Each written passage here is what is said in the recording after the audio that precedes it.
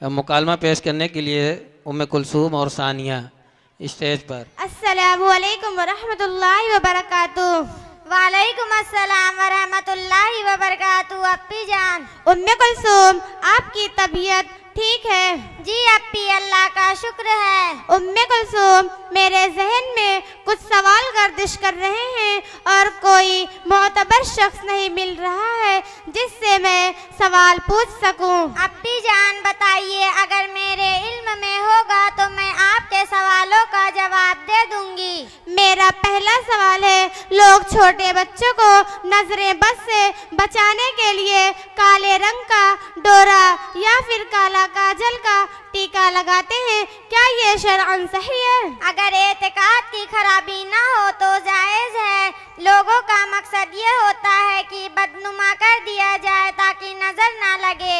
बड़े घरानों और मिडिल क्लास के लोग अपने बच्चों की सालगिरह मनाते हैं। इसकी शरी हैसियत क्या है? सालगिरह मनाने की रस्म अंग्रेज़ों की जारी की हुई है इससे बचना चाहिए। कुछ लोग हैं जब वो अपना मकान बनाते हैं तो मकान की बुनियाद पर बकरे का खून और सोना चांदी डालते हैं। क्या इनका ये अमल सही है? मकान की बुनियाद पर बकरे का खून और सोना चांदी डालना ये सब गलत है।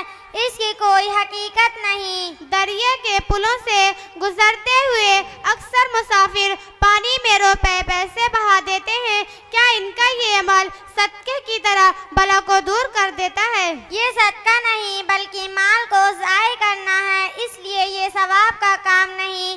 बल्कि मोजिबे वबाल है। एक साहब बोल रहे थे कि उंगलियों को चटखाना गुनाह है और ये नहुसत की अलामत है। देखिए, उंगलियाँ चटखाना मकरू है, लेकिन इस्लाम नहुसत का कायल नहीं। अगर किसी शख्स को खुदा रसूल और कुरान का वास्ता दिया जाने पर फिर भी वो न माने तो क्या गुनाह होता है? ऐसा शख्स गुनहगार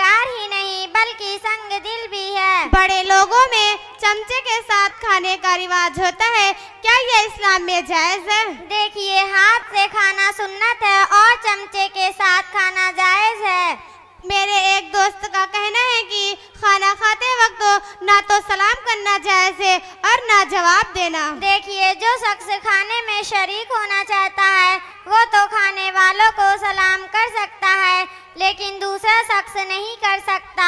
और अगर कोई सलाम करे तो खाने वालों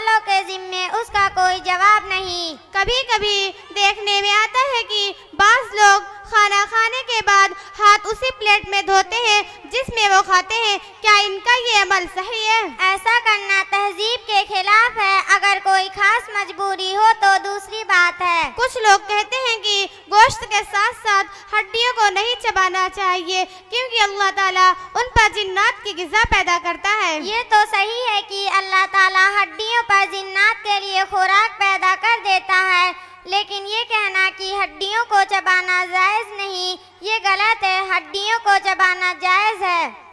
एक दूध पीते बच्चे का बाप अपने बच्चे का जूठा खा पी सकता है या नहीं? शरण, इसमें कोई नाजायज नहीं। बाज लोग अपने दोस्तों के साथ कुरानदाजी करते हैं, जिसके नाम से पर्ची निकलती है और वो अपने सारे दोस्तों को कुछ खिलाता पिलाता है। ये जायज़ नहीं, ये तो जुआ है। माशाअल्लाह तुमने ठंडे दिमाग से मेरे सारे सवालों का सही जवाब दिया।